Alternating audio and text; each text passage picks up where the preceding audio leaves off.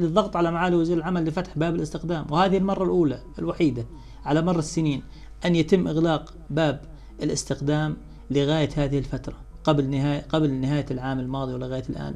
في ظل جميع الضغوط حاولت جميع الأطياف لا, لا أريد أن أذكر ما نعم. هي القطاعات التي حاولت وركزت نعم. على فتح باب, باب, باب الاستخدام ومع ذلك يعني تم آه، يعني يعني إيجاد حلول بديلة دون فتح باب الاس- الاستخدام نعم نتلقى الاتصال من الأستاذ يوسف العدوان تفضل أستاذ يوسف يسعد مساك آه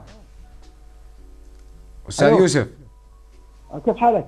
يعطيك ألف عافية تفضل سمعني؟ مداخلتك سامعينك تفضل. يا سيدي أنا عندي شركة مقاولات نعم. وعملت تصريح عمل لعمال مصريين نعم. وبعد شهر آه، هربوا. آه. رحت على الضمان الاجتماعي مشان أول شيء اقيم اساميهم على اسم الشركة. آه. نعم تفضل. سمعني؟ سامعك سامعك تفضل. الشيء الضمان عقدوا لي روح جيب الخ... كان كنت ختم اوراق وكذا قالوا عندنا فروات معينة. لازم تختمها وكذا إلى آخره. يعني خد... أنا كان مجهز لهم كل شيء قالوا تروح تجيب ختم الشركة مرة ثانية. نعم. تأخرت عنهم وبعدين مش كل ما أروح روح جيب ختم يعني وغلبوني الوزارة نفسها وزارة العمل بتغلب كمان. عندك بدك عمال اثنين ما بعرف كان معي كتاب من المقاولات إني أنا معفي من سبع عمال من نعم. ال- من الرسوم. نعم. الكفالات. نعم. سامعني؟ سامعك سامعك تفضل. سبع عمال يطلع لي لأن عندي مشاريع كثيرة. لما رحنا على وزاره العمل آه، مدير العمل يحكي لك شكل والوزير يحكي لك شكل والأمين يحكي شكل. صراحة ومريت عليهم كلهم وكل واحد يحكي لك شكل وفيش واحد منهم مطابق على الثاني وحفظهم حفظ حتى بالأسماء. نعم. أشكرك. سامعني؟ سامعك سامعك أنا سامعك وإن شاء الله كل ما. راحت على الهواء وإن شاء الله يحلوها لأنه المواطن يراجع يراجع ولا له حل. نعم.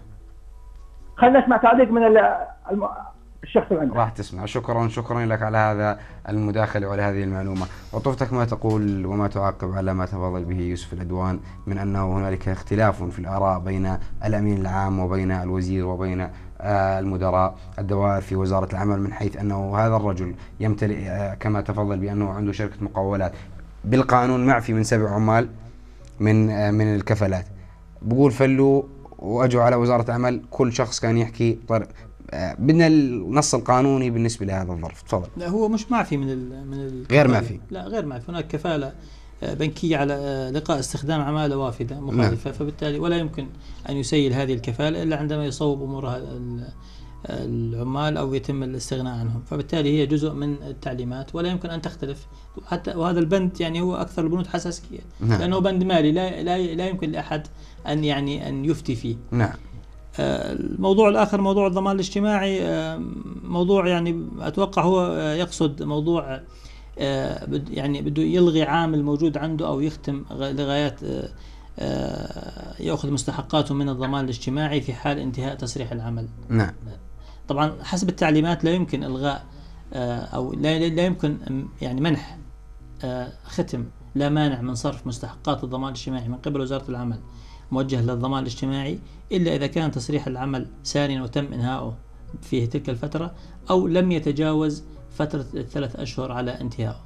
فإذا إذا تجاوز فعلى صاحب العمل أو على العامل اللي هو أن يقوم بتجديد أو بدفع رسوم تسريع عمل جديدة وبالتالي يحصل على هذا الضمان أو يحصل على هذا نعم. اللا مانع. نتمنى من انه الأستاذ يوسف آه، أخذ الإجابة الوافية والشافية. نتلقى الاتصال من الأستاذ حسين أبو هزيم تفضل. أستاذ حسين. أستاذ حسين يسعد مساك.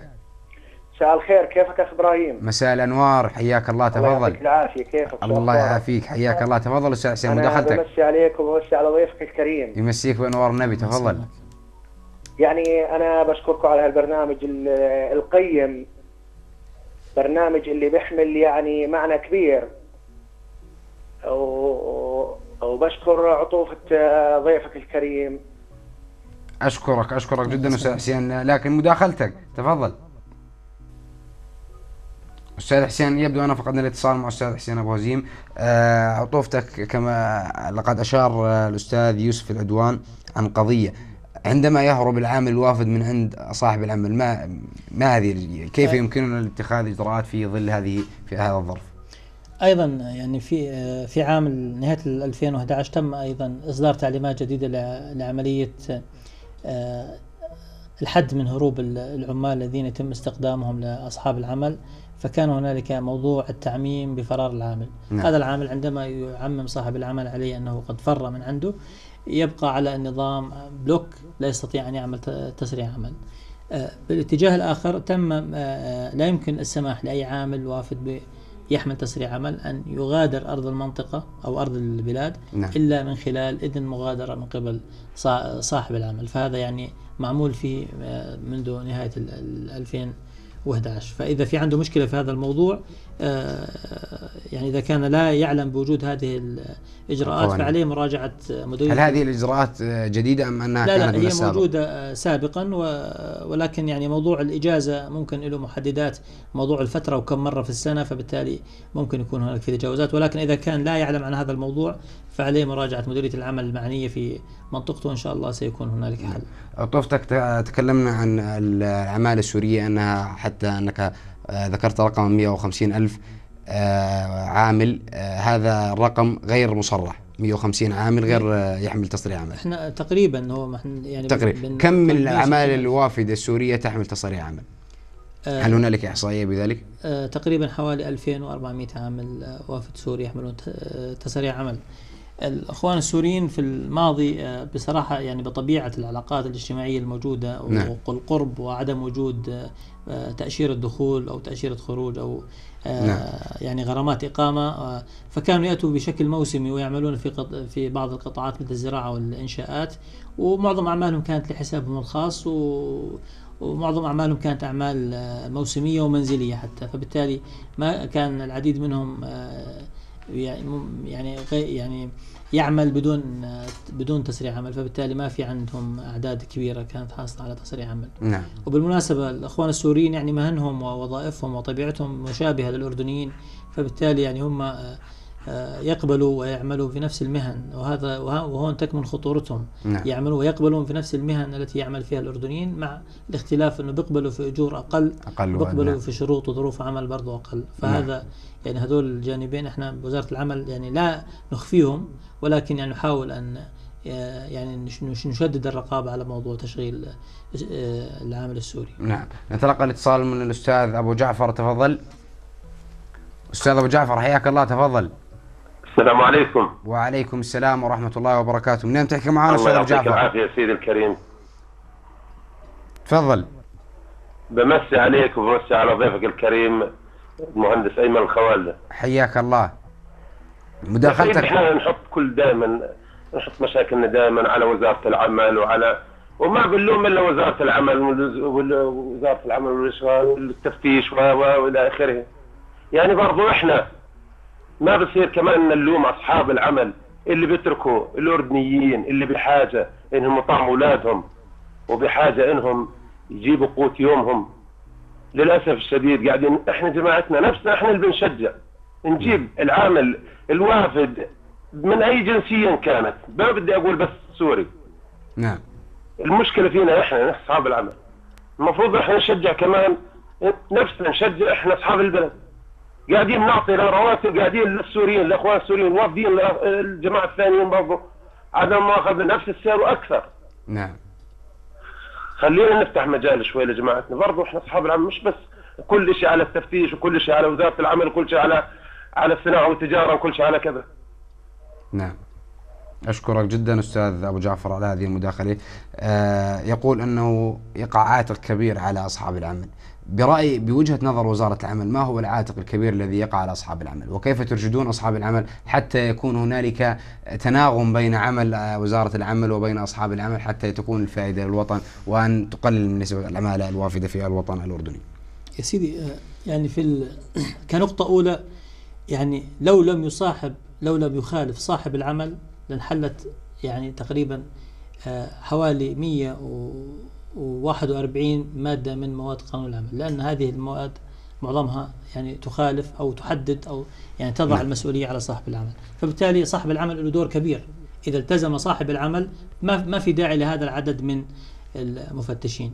ولكن بالمقابل هذا الشكل يعني هذا آه، يعني هذا هذا الموضوع بشكل عام لا ينطبق على جميع أصحاب العمل، هنالك أصحاب عمل ملتزمون، نعم. هنالك أصحاب عمل لا يقبلون بأن يكونوا مخالفون، هنالك أصحاب عمل آه، نسبة العمالة الأردنية عندهم 100% ونسبة المخالفات ضئيلة جدا ودائما تكون زياراتنا لهم زيارات توعوية نعم. فهذا إحنا بنتمنى أن يكون جميع أصحاب العمل الموجودين عندنا من ضمن هذه الشريحة الجانب الآخر موضوع التنسيق وموضوع ال- العمل اللي حكى فيه الأخ أبو جعفر. نعم. آه، بصراحة إحنا كل اللجان اللي بتمنح العمالة الوافدة واللي بتمنع العمالة الوافدة واللي بترفع الأجور واللي بت آه، يعني بتوازن ما بين رفع الأجور وعدم رفعها كلها بشراكات ثلاثية. نعم. يعني إحنا كوزارة عمل أو كحكومة حتى طرف من بين ثلاث أطراف والقرار يؤخذ في جميع هذه الأمور آه، يعني بالتشارك.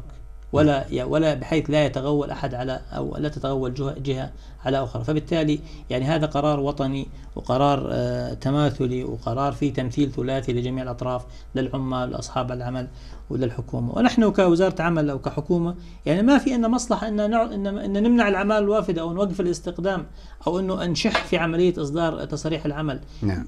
لأنه إلا إنه هو الهاجس إنه هو تشغيل الاردنيين تشغيل ابنك وتشغيل ابن صاحب العمل نفسه لأنه سوف يأتي يوم من الأيام ويبحث عن عمل. نعم. فبالتالي هي المصلحة ال- العامة والمسؤولية الاجتماعية علينا اولا ثم المسؤوليات اللي اللي هي مسؤولية العمل نفسها. فإن نعم. شاء الله يعني التعاون موجود. وأنا أثني على كلام الأخ أبو جعفر وبتمنى على أصحاب العمل يعني يكون عندهم وعي كافي له- لهذا الموضوع. نعم. نتلقى اتصال من النشط السياسي خالد تفضل. ألو السلام عليكم. وعليكم السلام ورحمة الله, الله يسعد وبركاته. مساك أخي الكريم. حياك الله ومساك. يعني حياك الله وحي ضيفك في هذا الاستوديو الطيب. أشكرك الله أشكرك جدا. يعني حقيقة برنامج يعني أنا معجب بهذا الطرح وبهذا البرنامج اللي يعني يتناول هموم الأردنيين في كافة ما- مشاربهم وانتماءاتهم أشكرك جدا. الله يكرمك. سيدي الكريم بالنسبة لموضوع العمالة يعني نعم. ال- ال- الوافدة خلينا نقول. يعني أنا أعتقد اليوم أنه لا يوجد